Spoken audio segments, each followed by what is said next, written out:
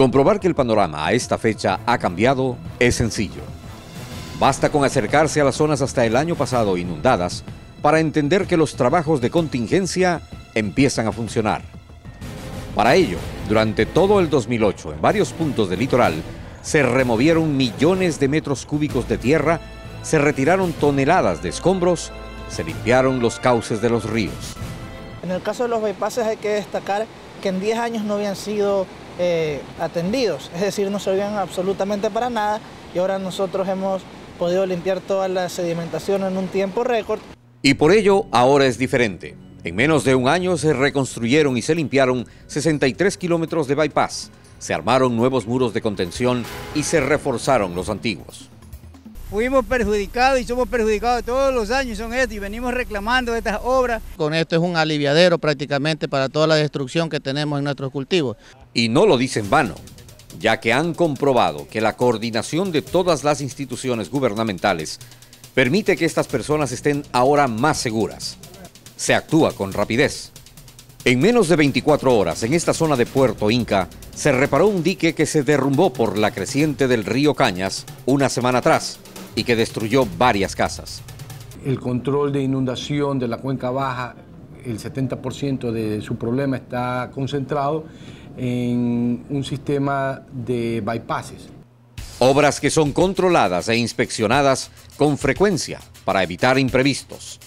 Atrás quedaron las viejas excusas de contratistas y fiscalizadores. Yo fiscalizo esto. ¿Cuál es su nombre, caballero?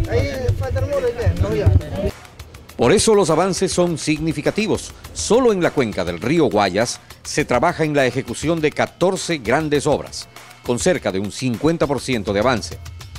Aquí se incluyen limpieza de bypass y construcción de diques en los ríos Bulubulu, Chimbo, Barranco Alto y Estero Barraganete. 50 millones de dólares disponibles. Los bypasses son ríos artificiales que sacan agua de los ríos Chimbu, Bulubulu, Barranco Alto, etcétera, y las llevan hasta el río Guayas evitando las inundaciones. En la misma cuenca del río Guayas, 51 millones de dólares adicionales sirvieron para terminar, hasta finales del año pasado, las obras básicas de protección. Luego del invierno anterior, lo que hicimos fue una programación a mediano y largo plazo eh, para atender zonas puntuales forma parte de un gran total de 400 millones de dólares destinados para trabajos de mitigación y para recuperar la infraestructura afectada en la emergencia del 2008. Frentes de trabajo en todo el litoral. Este sector, que agrupa 20 comunidades, viene sufriendo este mismo problema por alrededor de, de alrededor de 15 años.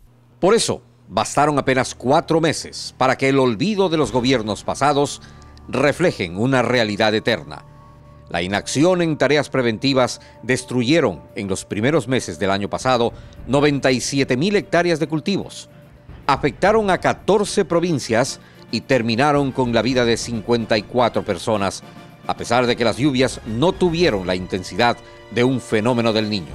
Con ese muro nos quedamos bastante protegidos.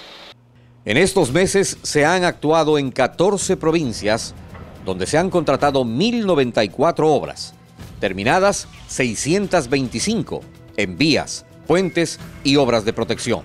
Las 469 obras restantes tienen un avance promedio del 40%. Así nos hemos preparado. Así es como tu gobierno planifica. Así es como se cambia la historia.